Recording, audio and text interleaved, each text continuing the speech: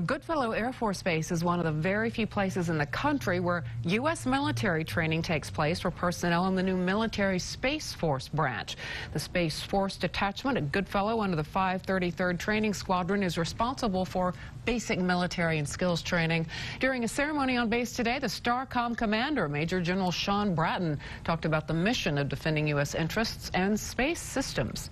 It's a pretty incredible day for the Space Force. You know, we, we exist in several places in the country, like very visibly in Colorado and California, but our presence here in Texas is so important. The intelligence training that happens only here at Goodfellow is foundational to the Space Force's mission to protect and defend U.S. assets on orbit.